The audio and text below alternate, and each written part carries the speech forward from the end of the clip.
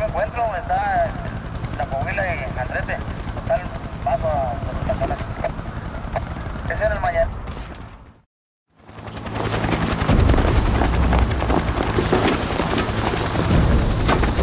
Welcome back, prodigal guy. Hang on.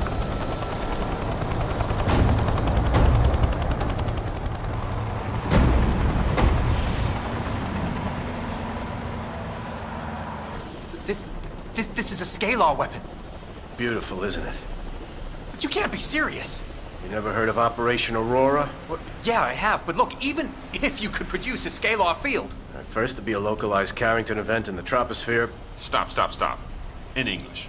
All right, a scalar weapon creates very powerful electromagnetic pulses. So, So they trigger it in the right spot, down goes the US power grid. Then as our fine country slips into total fucking anarchy, the Russians decide to come knocking. The end. So we better find this guy. Arkady Kirilenko. Shit. ain't that the fella you didn't shoot? He's connected to this project?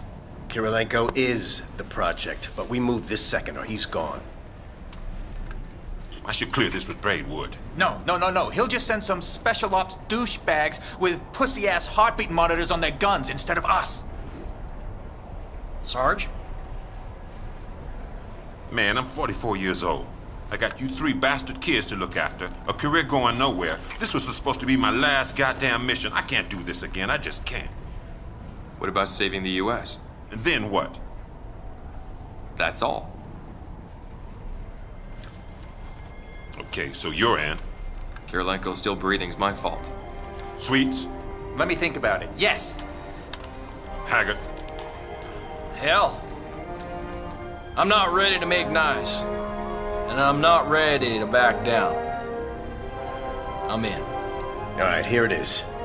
You're gonna piggyback on a U.S. armored op in the area to get to Kirilenko. It's the only way.